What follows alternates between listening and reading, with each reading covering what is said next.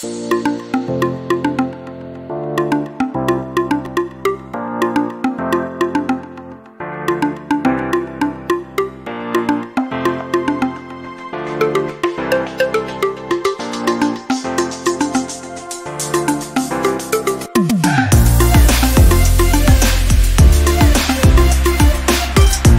cảm thấy phấn khích và hồi hộp bởi vì là đến trường rất là vui vì mình được gặp lại bạn bè và thầy cô mình được tiếp thu với những dự án mới, được làm trực tiếp với các bạn. Em cảm thấy rất là hạnh phúc tại vì em được gặp lại các thầy cô và các bạn của em. Dạ em cảm thấy vui và phấn khởi.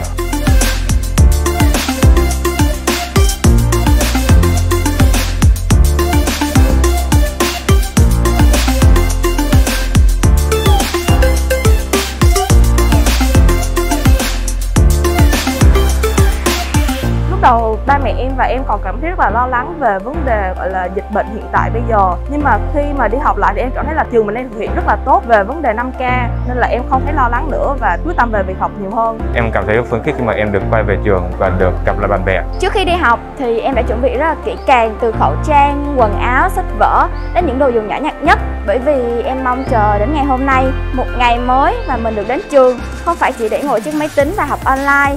Những điều thú vị của ngày hôm nay như là được giao lưu với bạn bè, gặp thầy cô, hỏi những bài của trực tiếp và được làm những nhiều dự án hơn, rất là thú vị.